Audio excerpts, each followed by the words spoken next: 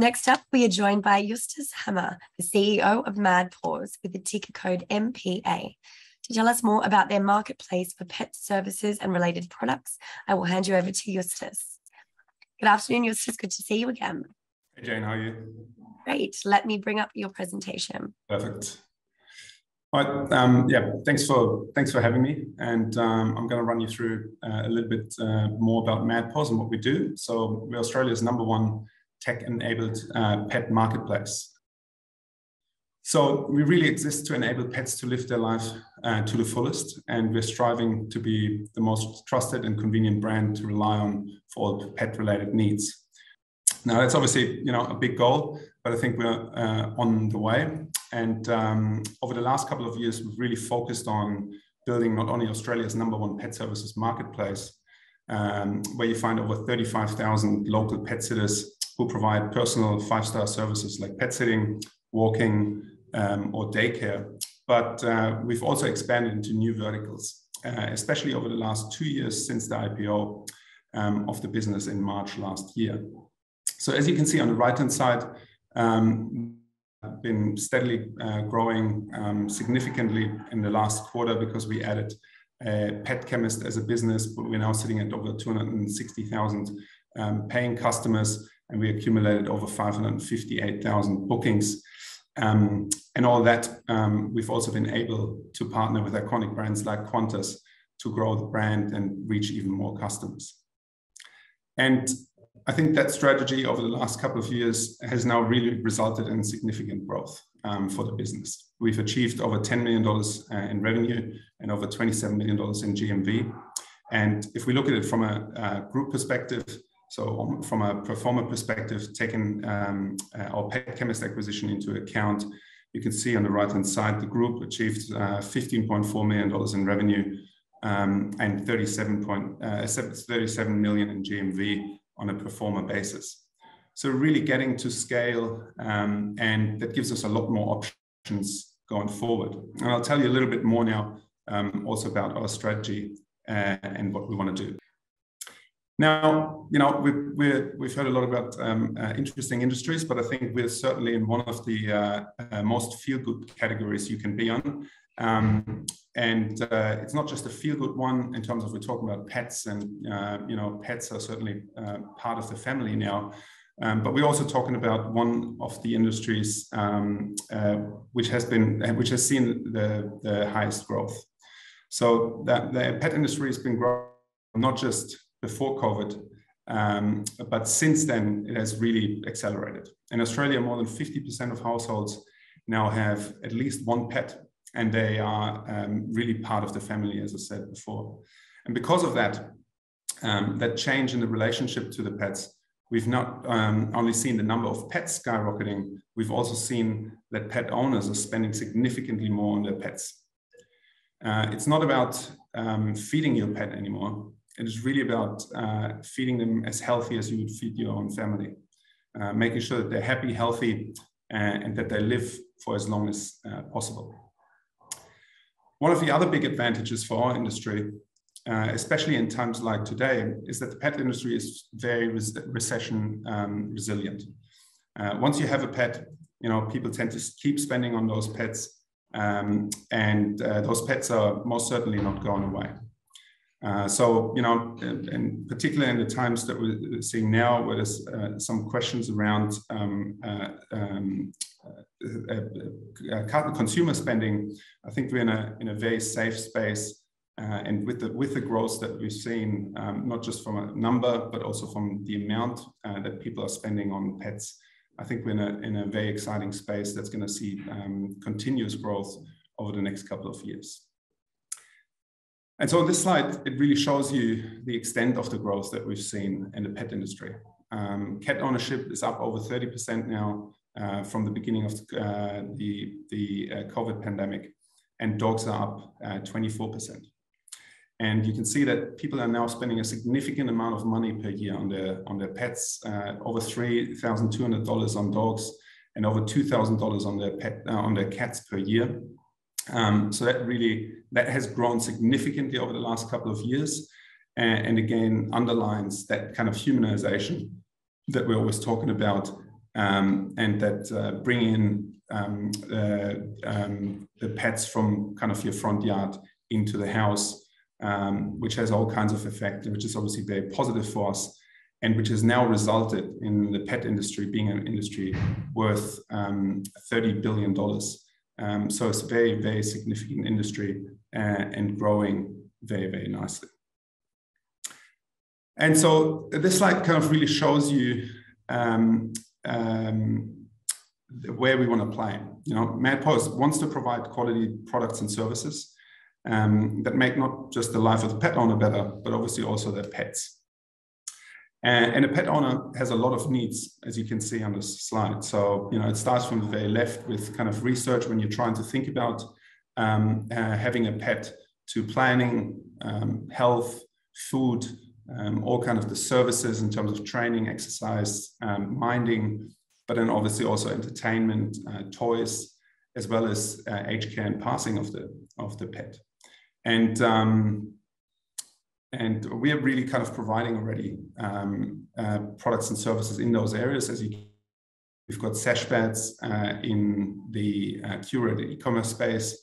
We've got Pet Chemist um, in the uh, healthcare space. We're providing prescription and over-the-counter um, medication. We've got Dinner Bowl with our raw kibble and lightly cooked um, offerings, as well as Waggly, uh, which is our toys and uh, treats subscription service. And um, the core offering, still the biggest part of the business, is MadPaws, uh, where we provide pet sitting, daycare, dog walking, and house um, visits. And we're not just playing in those spaces, as you can see on the bottom, we're actually also winning in those spaces. Um, you know, MadPaws, uh, the by far the number one pet services marketplace in Australia. Um, we've got Dinner Bowl, which is the top rated dog food subscription in Australia. We've got Pet Chemist, um, which is the one, number one online pharmacy for pets uh, in Australia. And we've got really high growth businesses with Waggly and Sashbeds, um, where we're excited about the future growth and um, opportunity for the business. But I want to touch a little bit about um, kind of why we're excited about adding additional verticals um, to the core business. And if you go to the next slide, you can see that um, here, this is really kind of the flywheel that we're trying to build. Um, so this is not about building um, uh, individual brands that are standalone, ready great businesses where we see the real acceleration of the business is by being smart and how we can how we integrate those businesses, how we integrate those brands, um, uh, uh, and using data to um, being better in providing the right services and products to our customers, and therefore obviously also reducing the cost of acquiring customers by cross-selling the customers between uh, the, um, the diff different verticals that we're offering now. And so, you know, that flywheel uh, works quite uh, nicely now. We're seeing um, the first effects of this working, where we're seeing more owners on the platform, which generates um, word of mouth and brand ad advocacy, which obviously generates more bookings. And then, you know, the most essential part and kind of why we think this is work is data. We're generating a lot of data, um, not just about the pet owners, but also about the pets. And this is not just that we know, you know, the name of your dog, um, but we know, you know, how old they are. We know their breed. Uh, with Pet Chemist, we know some of the medical conditions, for example. Um, with uh, with um, uh, Dinner Bowl, we have information about the weight, the activity, and so forth, and all that helps us to uh, again kind of find better matches, not just from a pet sitting perspective, but also from a offer perspective and from a product perspective. And um, you know that is what we've been focusing on um, over the last couple of months, building that kind of data layer to make sure that we are in a position to um, drive customer acquisition at a much better um, and lower CAC than uh, individual standalone business could do that. You can see that this is working now um, because we're really seeing some of our kind of key metrics that we're tracking. So from a marketing um, uh, uh, cost perspective, operating expense as a percentage of revenue, all those metrics are going down, which is obviously what you want to see. Um, so we're spending a lot less um, money per dollar revenue on marketing as well as operating expenses, while at the same time, you can see on the right-hand side, um, revenues are going significantly up. Um, so just a couple of um, points about the quarterly performance. So, um, like I said before, we're really kind of achieving scale now. Uh, we've got a quarterly GMV in, uh, of 11.4 million and uh, a group operating revenue of 4.6 million. So, you know, we've seen significant um, uh, uh, growth here.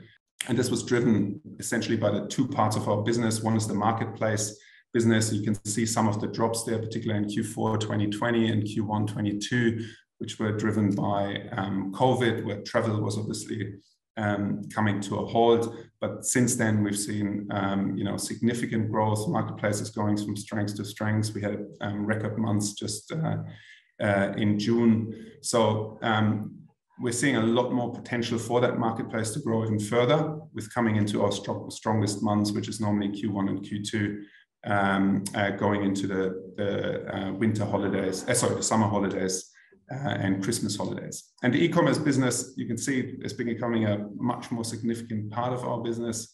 Um, the big jump in um, uh, Q4 22 was the addition of Pet Chemist, which we acquired um, at the beginning of that quarter. Yeah, and with that, um, I just want to finish on. Um, uh, I hope I was uh, telling you about the tailwinds that we've seen for our business. Um, you know, pet ownership through the roof, uh, um, the whole double whammy effect in terms of more pets, but also people spending more on their pets, um, driven by the humanization and premiumization. Um, it's a huge industry that we're very excited about uh, expanding further into. And um, uh, we're seeing, you know, all the things that we've been talking about over the last couple of quarters uh, in terms of the pent-up demand for for our core business, MadPaws um, services, really kind of paying, playing out. Um, people are traveling again. We've seen um, uh, record um, numbers in terms of average GMV per booking, um, as well as the number of bookings per customer. So all that is kind of working out uh, nicely, and we're in a very good position to execute on on our strategy with uh, still having 5.6 million dollars in cash um, uh, in the bank at the end of June. Um, so that gives us enough um, breathing space to work on the, the businesses that we have now, um, integrate them even closer, make sure that that flywheel I've been talking about um, is spinning faster and faster. And um, then we're obviously looking to expand at some stage, uh, potentially into other verticals to um, to find even more growth and and provide uh, even even more and better products and services to the customers that we already have on the platform. And with that, um, I'm happy to take some questions. Justus, thank you for the great presentation. As always, we love having you on Broker Briefing. Uh, we have had quite a few questions that have come through, so let me jump into them. Sure. Uh, so, is MadPaws looking to expand overseas? And if so, what would the strategy be uh, around this? Yeah, absolutely. I think um, we've got a we've got a, a, great opportunity, particularly for the marketplace uh, and some of our other businesses, to expand geographically. Um, now, you know, just where the market is at at the moment, and kind of what we're focused on. We're very much focused on um, profitability and driving, uh, you know, the business that we've built now and the ecosystem that we've built now, and making sure that that's as, as efficient as possible. So um, you know, from a timing perspective, you know, that's not something we're gonna we're gonna start doing probably in the next quarter, but it's certainly something that's in the in the kind of um, uh, in, the, in, the, closer horizon, um, and it's just a decision then on kind of how much how much do we want to invest uh, in growth again. So you know, the nice thing at the moment is marketplace as a standalone business already um, profitable and we're working on kind of the other verticals to get there too. That's kind of our prior, priority at the moment, and we're, we're achieving that while still um, showing very nice growth um, for for all parts of the business. Um, but you know, once the market um, changes a little bit, we're obviously looking to accelerate that growth, and geographic expansion is one one option that we're looking at. Well, just further that, then there's a question that's come through just about getting a strategic involved.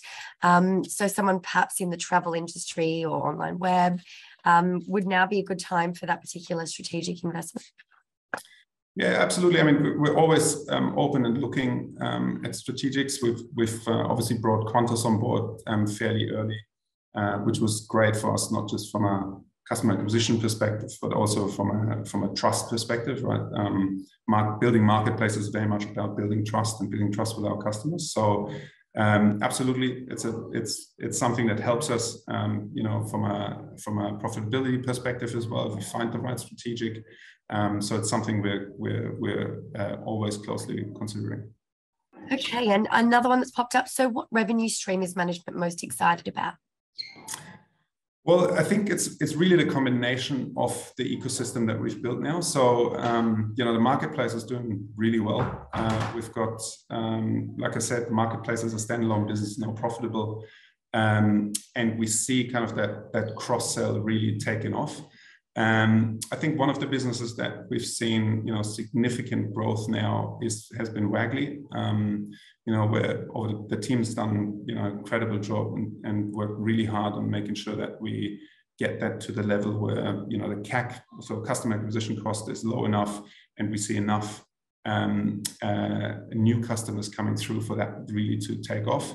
Um, and that's probably one where we've seen, uh, you know, the, the, the, biggest amount of, of improvements, um, where we're now in a position to really scale that business um, with uh, still a very, very good um, cash profile. We get that money back very quickly because we're acquiring customers at a, at a CAC now that's lower than ever before, while still acquiring more customers than we have ever before. So, you know, that's probably one um, where we've really kind of seen a breakthrough in terms of in terms of growth um, over the last month or two. Uh, well, Justus, that's all we have time for today. I am looking forward to seeing the new numbers, given that everyone seems to be traveling on holidays at the moment. So um, thank you for joining us on Broker Briefing. We look forward to hearing further updates. Thanks so much for having me.